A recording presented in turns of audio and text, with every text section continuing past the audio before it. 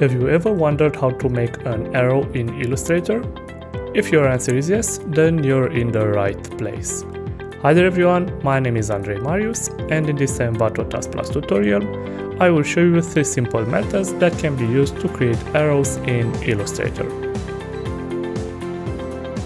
Before we begin this tutorial, make sure to check out Envato Elements, where with a simple subscription you can get unlimited access to millions of creative digital assets such as music, graphics, including arrow brushes, photos, fonts, and many more.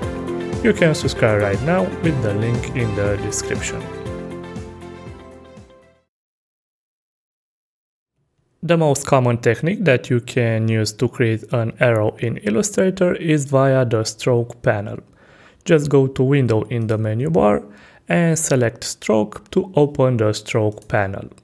Any opened path can be easily turned into an arrow. Select your path, make sure that you have a stroke applied, and then focus on these two arrowheads options. Choose one of these 39 options to stylize the start and end point of your path and so create your arrow. Once created, you can click the swap button to quickly swap the start and end arrowheads. You can increase or decrease the scale values to adjust the size of your start and end arrowheads.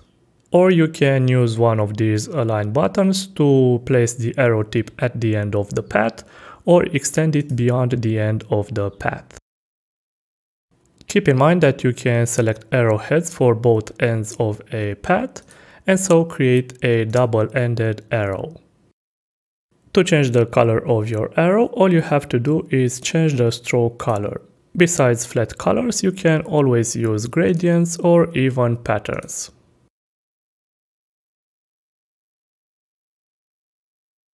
The second method that you can use to add an arrow in Illustrator is via brushes. Open the brushes panel by going to window in the menu bar and select brushes and then open the flyout menu from this panel and go to open brush library, arrows and we'll start with arrow special.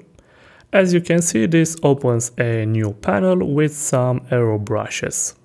To apply one of these arrow brushes, make sure that your path is selected and then just click the desired brush. To increase the size of your brush, all you have to do is increase the stroke size. Alternatively, you can use the paintbrush tool from your toolbar to create a curved arrow. To create a double-ended arrow using a brush, you could use this brush and using this arrow button, you can move to the next collection of brushes. Again, click on any of these brushes to easily apply it. And if you wish to change the color, all you have to do is replace the stroke color. If you're using a scatter brush, an art brush, or a pattern brush, you need to make sure that the colorization method is set to tints so that your brush is changing the color whenever you are changing the stroke color. Click again this arrow button to move to the next collection of brushes and select one of these brushes whenever you need a multicolored arrow brush. Now obviously you can create your own set of brushes or much easier you could upload one from Envato Elements. A good example would be this set of pattern brushes, just download it and return to your document. Open the flyout menu from the brushes panel and go to open brush library and other library find your brushes and double click the file and as you can see this opens a new window with your downloaded brushes. To apply one of these brushes to a selected path, all you have to do is click it.